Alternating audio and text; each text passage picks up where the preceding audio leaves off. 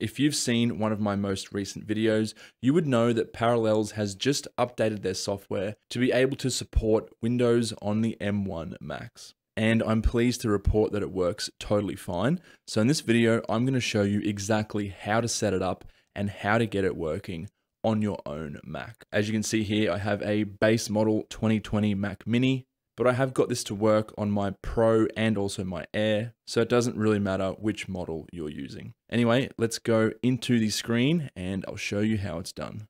Okay, so first things first, you want to open up your web browser and you want to go onto parallels.com and you want to actually sign in and make an account. Now, if you've already bought Parallels for Mac, this is probably going to be supported already. If not, use the link down below to sign up for an account and also purchase Parallels for Mac. That is an affiliate link, by the way. Now, once you've purchased Parallels, you just want to put these keywords into Google, just search it and that'll bring up this page. Uh, and you'll see the Welcome to the Parallels Desktop 16 for M1 Mac Technical Preview. So you want to scroll a little bit further down here until you see step number three, install and activate. And you can see the actual version number here for the M1 Mac. So we're going to want to download that. And we're going to click allow. Okay, so we're going to double click on this to install, open. And we're going to click accept. You're going to put in your user password.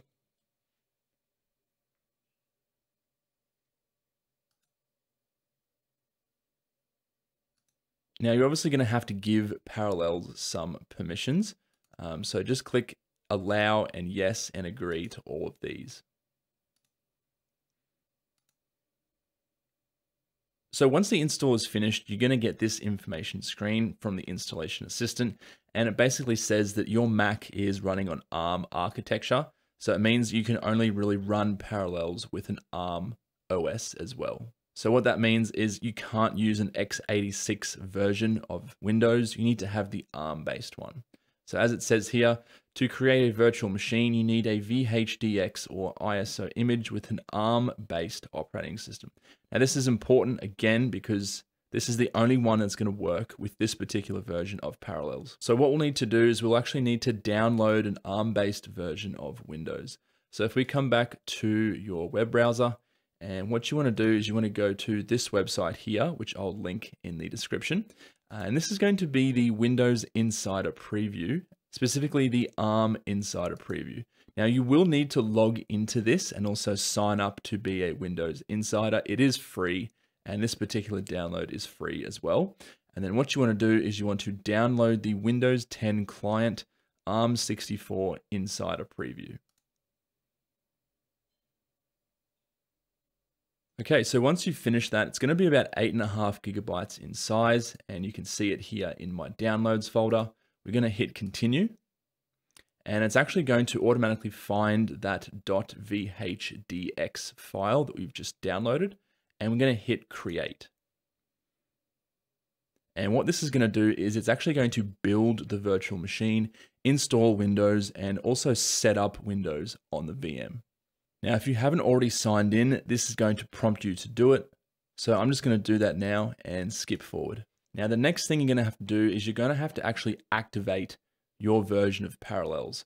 So come back to the original Parallels website where you actually downloaded the original program and you'll see just underneath that an activation key. So you want to copy that and you want to paste it in here and then you want to click activate and that's essentially going to activate your version of Parallels. And you can see there it's been activated successfully.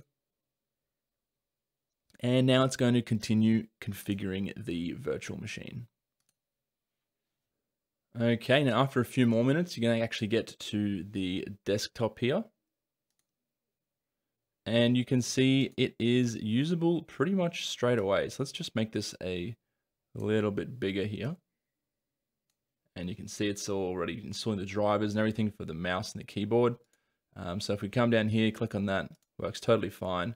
We'll go on to Edge and I'll actually download Steam because I'm going to be doing some gaming tests a little bit later on. You can see here works totally fine install Steam, run,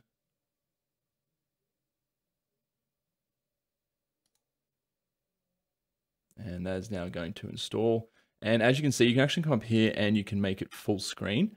Um, so this is going to look just as good as it would on a native Windows computer. So there's absolutely no issues at all here. You can see very quick, very smooth, uh, very snappy. So if we exit full screen again, and you can actually see if I press command on the keyboard, hold down command and then press tab, uh, I can literally switch between Windows and Mac just like that. So it's pretty impressive. And if we're not using it anymore, we can come up here and we can actually pause it. And that's just going to suspend it. Or we can actually shut it down or stop it. Um, but it's always better to shut it down from inside the VM. Um, so if we unpause this and we come here and we just go shut down, that is just going to shut down the VM, save everything, and you'll be good to go for the next time you open it up. And what we'll also do is we'll go into activity monitor and I'll give you guys an idea of how much RAM and CPU it's taking up just by sitting here idle. So obviously there's nothing going on inside this VM. It's just sitting there. Um, so at the moment it is using only about 5% of the CPU. Uh, well, obviously it's going to fluctuate. So, so you can see there, it's really not using much of the CPU at all. There's still 80% of the CPU idle.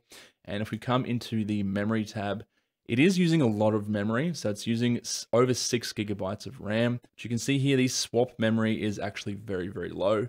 On my laptop, I saw this get up to about 1.6 gigabytes and they're both 8 gigabyte RAM models. So this Mac mini and all of my other Macs, they're all 8 gig RAM and I haven't really had any issues yet.